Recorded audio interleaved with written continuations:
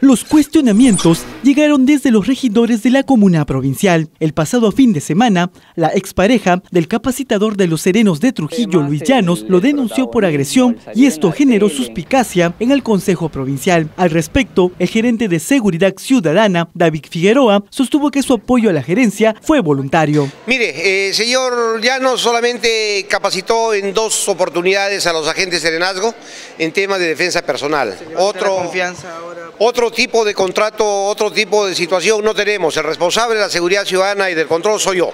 Sí. ¿En tu caso, señor, ya nos va a volver a capacitar para que quede claro? O desconozco si volverá a capacitar. Pero en tal sentido, el gerente afirmó que la mencionada denuncia no es motivo para que el municipio provincial cierre las puertas a Llanos en caso él quisiera seguir prestando sus servicios a la comuna de Trujillo. Tenemos un compromiso con Trujillo y nos esforzamos día a día por tratar de solucionar los problemas. ¿Es recomendable que él vuelva a capacitar o no por ese tema al menos?